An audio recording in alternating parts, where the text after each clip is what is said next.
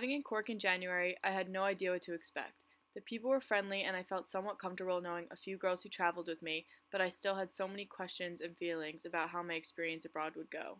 Someone once said, Time is like a river. You cannot touch the same water twice because the flow that has passed will never pass again.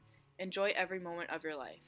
Having only a few months to explore this city and the country that surrounds it, I learned the highs and lows of my experience abroad.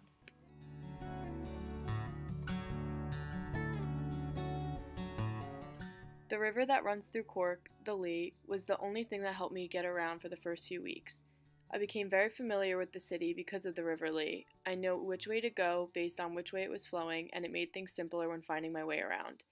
Becoming so aware of the river, I noticed the day to day changes and pace of it and began to resonate with that.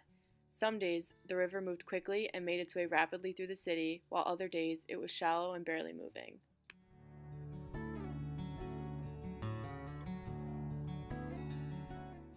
Arriving in Cork, I was a shallow, slow moving river, nervous to see what my abroad experience would hold. Now, with only a couple of weeks left, I am full of life and new findings, a rapidly flowing river that is eager to learn more about the cultures of different people. My experience abroad has created a new identity for me and filled me with so many new ideas and a new passion for the differences of life.